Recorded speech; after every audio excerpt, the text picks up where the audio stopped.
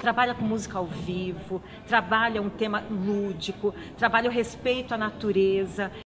Porque a gente tenta trazer não só diversão, a gente tenta fazer uma coisa que a gente chama de arte e educação. Entendeu? É a arte, a diversão, junto com, com um certo aprendizado.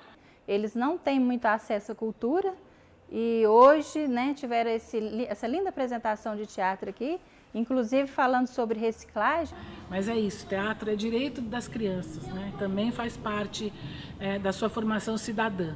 Por hoje é só, pessoal. Muito obrigado.